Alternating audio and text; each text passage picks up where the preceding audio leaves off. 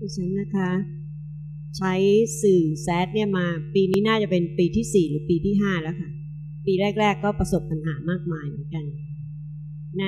โรงเรียนสามเสนวิทยาลัย ดิฉันเป็นครูสอนระดับชั้นมสองแล้วก็มสี่มสองวันนี้จะยกตัวอย่างในเรื่องของการแปลงทางเลขาคณิตค่ะ อันที่หนึ่งนี้จะเป็น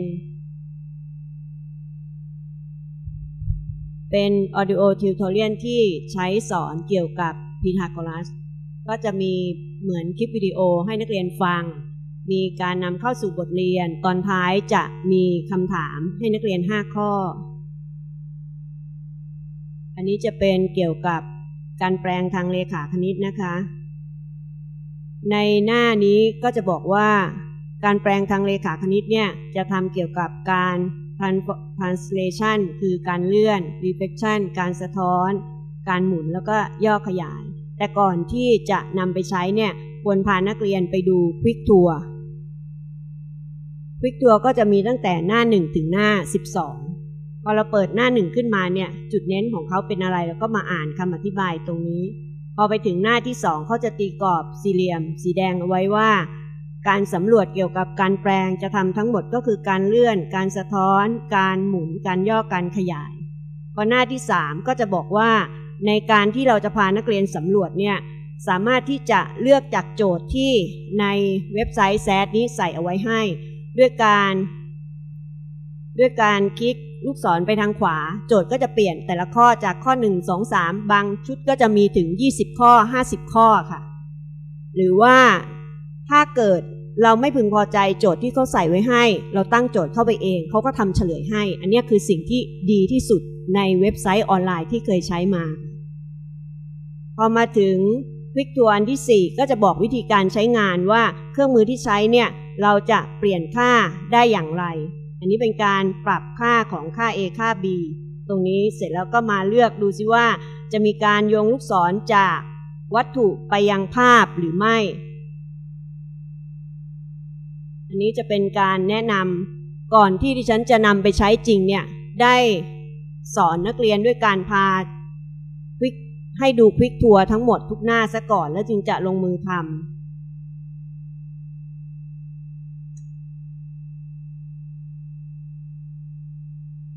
เมื่อเสร็จจากควิกทัวร์ทั้งหมด 12 หน้าไปแล้ว คราวนี้เราก็มาเริ่มสังเกตดูว่าถ้าเราเข้าไปที่การเลื่อน เราสามารถที่จะเลือกโจทย์จากสิ่งที่เขามีอยู่ก็ได้ หรือว่าเราจะตั้งโจทย์เองด้วยการเปลี่ยนค่า a ค่า b ตรงนี้ ส่วนด้านสีเหลืองกับสีเขียวนี้นะคะ สีเหลืองตรงนี้ถ้าเกิดเป็นการเลื่อนขนาน ถ้าเกิดเราสนใจที่จะเลื่อนเพียงจุดจุดเดียว เราก็เอาจุด B กับจุด C เนี่ย ใส่คู่อันดับให้มันซ้อนกับ A มันก็จะเป็นการเลื่อนจุดหนึ่งจุดก่อน แล้วต่อไปก็จะเป็นเลื่อนส่วนของเส้นตรง เราก็ทำให้ C ตัวนี้ไปซ้อนที่ A หรือ B ซะก็จะเป็นการเลื่อนส่วนของเส้นตรง ซึ่งโจทย์ก็จะมีไว้ให้เลื่อนส่วนของเส้นตรง เลื่อนรูปสามเหลี่ยม เลื่อนรูปสี่เหลี่ยม ทุกสไตล์จะเป็นอย่างนี้ทั้งหมด ส่วนภาพสีเขียวเวลาที่เราทำแล้วถ้าเกิดภาพมันมาซ้อนกันเนี่ย เราไม่สามเราสามารถที่จะไม่ให้มันโชว์สีเขียวก็ได้ด้วยการคลิกตัวกากบาทตัวนี้ show image หรือไม่ show image เราคลิกออกมันก็จะไม่มีภาพสีเขียวมาบัง เวลาที่เราจะเลื่อนรูปค่ะ ต่อมาที่สองพอเราเปลี่ยนมาเป็นการสะท้อน การสะท้อนตรงนี้ก็จะมีข้อความบอกเอาไว้ว่า view reflection of อันนี้นะคะ ในการสะท้อนเนี่ยมันจะสะท้อน ตามแนวเส้นตรง y เท่ากับ c ก็คือ แนวนอนหรือสะท้อนตาม x เท่ากับ c คือสะท้อนตามเส้นแนวตั้ง หรือสะท้อนตามเส้นตรง y เท่ากับ x หรือสะท้อนตามเส้นตรง y เท่ากับลบ x เฉพาะในนี้จะสะท้อนได้ 4 รูปแบบนะคะ ต่อมาไปดูการเลื่อน ก็ในทำนองเดียวกัน เขาก็จะบอกว่าการเลื่อนที่เขามีไว้ให้เนี่ยก็จะมีการเลื่อนเออตอนนี้เป็นการหมุนนะคะ การหมุนตามเข็มนาฬิกาหรือทวนเข็มนาฬิกาสำหรับอันนี้ ทีนี้มันก็จะมีการแสดงตารางของแต่ละจุดขึ้นมาด้วย อันนี้เราสามารถที่จะโชว์หรือไม่โชว์ก็ได้นะคะหัวข้อที่ 4 ก็จะเป็นการใช้เกี่ยวกับการย่อหรือการขยาย การย่อเกิดขึ้นในกรณีที่เราใช้ scale factor น้อยกว่า 1 ภาพต้นแบบจะเป็นสีเหลือง พอเราใส่ค่าตัว scale factor น้อยกว่า 1 ภาพที่ออกมาก็จะเป็นการย่อ เวลาที่เรามีปัญหาว่า สีเหลืองมันถูกทับด้วยสีเขียว หรืออะไรอย่างเงี้ยค่ะ เราก็ปิดไปสักตัวหนึ่งเพื่อที่จะควบคุม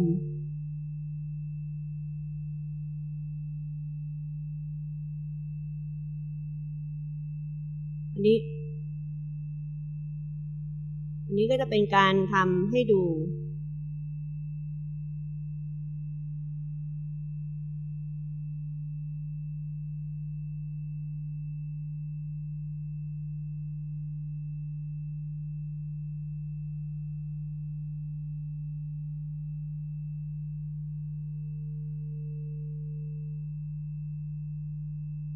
สำหรับอันนี้จะเป็นการนำเนื้อหาที่ไปใช้สอนในระดับชั้นมปลายค่ะ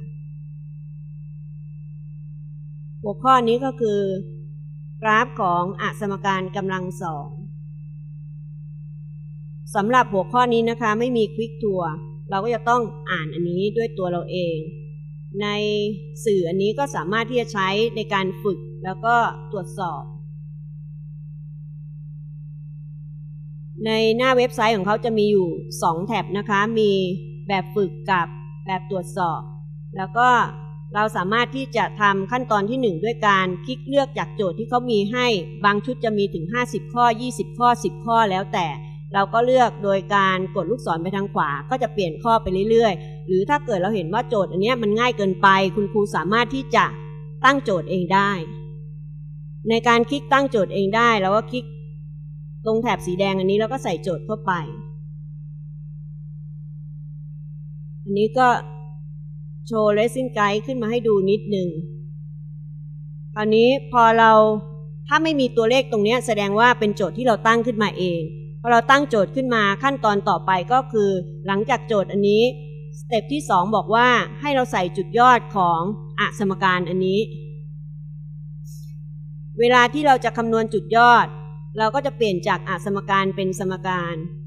ขาให้เราใส่จุดยอดหนึ่งจุด แล้วก็ใส่จุดข้างเคียงของจุดยอดเพิ่มมาอีกสองจุด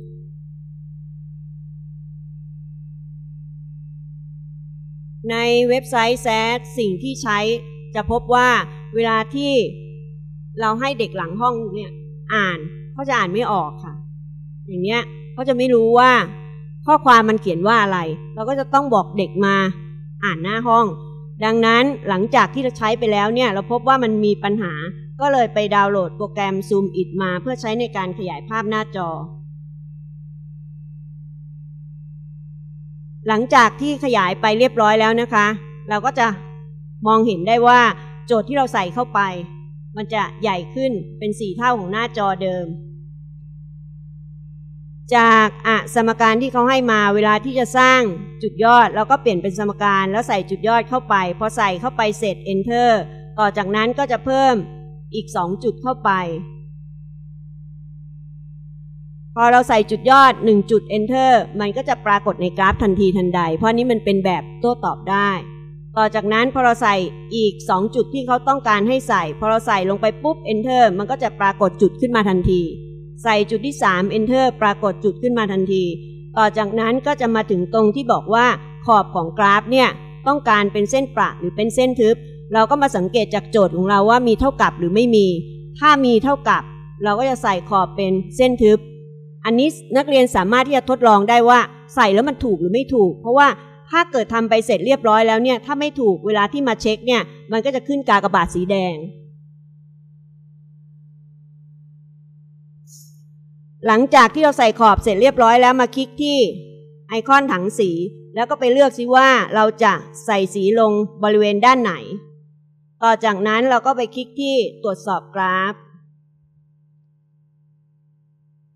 หลังจากที่คลิกตรวจสอบกราฟ ถ้าอันใดไม่ถูกตรงนั้นก็จะมีกากบาทเป็นสีแดง ถ้าอันไหนถูกก็จะมีเครื่องหมายถูกเป็นสีเขียว แล้วก็จะมีคำชมขึ้นมา นี้ก็จะเป็นการทำโดยไม่มีคำอธิบายพิมพ์เอาไว้ให้ ขอบคุณค่ะ